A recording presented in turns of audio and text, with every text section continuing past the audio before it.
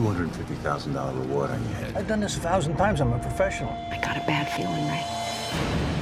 Hey, where's your wife? Last night, I wanted to take a pair of scissors and stab you. Then me and the baby.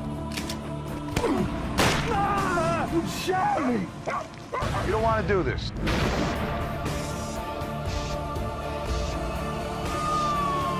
Both of you, hands in the air.